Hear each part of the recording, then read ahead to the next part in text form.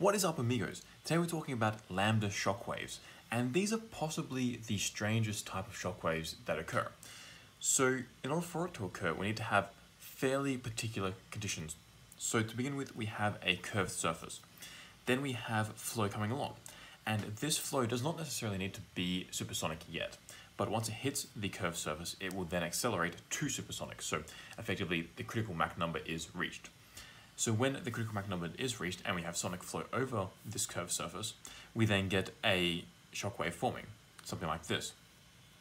Then if we have the shockwave and it triggers transition, so we have a separation bubble forming, the flow separates, after this shockwave, we then get this bubble here and it recirculates around, so all the flow in here is recirculating around.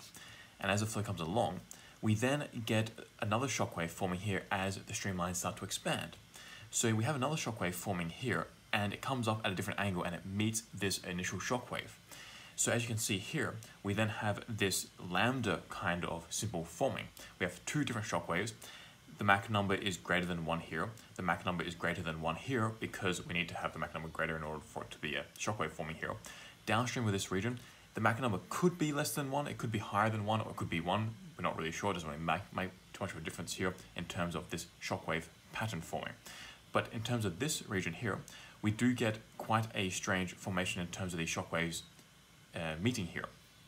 Then downstream, we also get a line forming where we actually have different, we have pressure along this, across this face the same, but different densities and temperatures. And this is kind of like a bifurcation, well, not really a bifurcation line, but a, a separation line between these two regions of different densities and temperatures.